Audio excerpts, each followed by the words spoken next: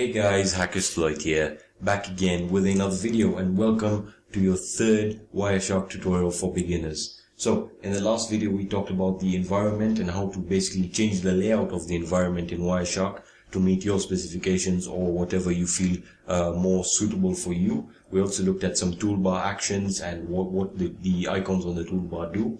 Now in this video I'm going to be talking to you about the capture options and the interfaces in depth. So again, this is what I'm going to be talking about. The whole capture options and interfaces. Just for the sake of this, uh, for the starting of this video, we're just going to select Wi-Fi, alright, because or whatever NIC or uh, network interface card you're using. So I'm just going to stop uh, scanning for packets, and uh, I want to just show you something here.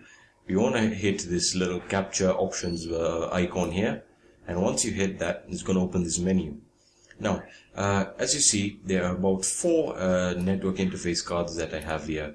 Now, two of them, the VMware network adapter uh, and this one right here, 1 and 8, are not real in the sense that they are not actually hardware, they're just software, virtual um, network interface cards. These are for my virtual machines. I have two, my Wi-Fi and my Ethernet.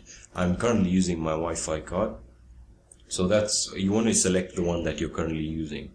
Now, it's going to give you information, more information about it.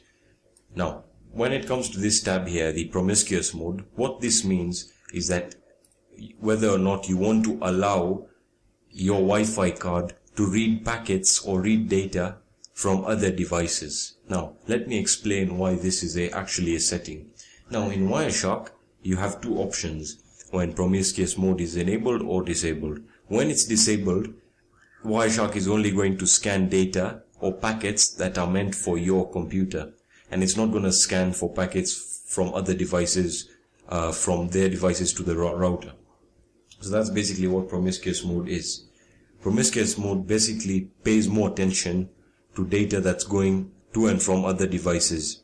So it actually allows you to read packets and data from other devices. Now again, this is highly legal without permission. I don't recommend you going and using this uh, this method uh, like in a public place it's highly illegal and if you're actually caught you will be apprehended and uh, it's a crime. So again you have to have permission from your network uh, administrator or you basically have to have permission to scan the packets on the data. So yeah that's pretty much about uh, what promiscuous mode is